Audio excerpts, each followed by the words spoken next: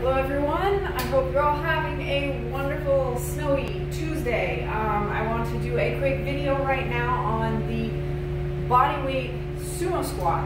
Um, so you all know the regular squat where you have your your feet about hip width apart, toes point, pointing forward. Well, the sumo squat, you've got your legs quite a bit wider than hip width your knee, um, your toes are pointed out um, at an angle. So they're not pointed directly in front of you, they're pointed out at an angle. And But otherwise, again, keep your core engaged, keep your tailbone tucked, and you're gonna go down, back up, and really squeeze those glutes in the bottom, or at the top rather.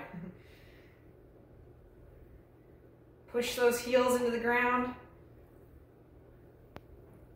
And what this one, what the sumo squat um, works as opposed to the uh, regular body weight squat is you're going to engage more the um, gluteus medius, uh, also known as, that's like the side butt muscle, and that'll work that quite a bit more than the regular squat.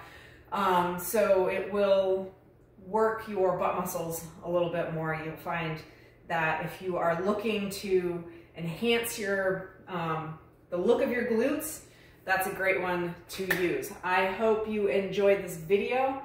Um, and if you did, please hit the like button, share, subscribe. Um, and you can also find me on Facebook and Instagram as well as locals. Please check it out. That's westfoldhealthandfitness.locals.com. And I will see you all later. Bye.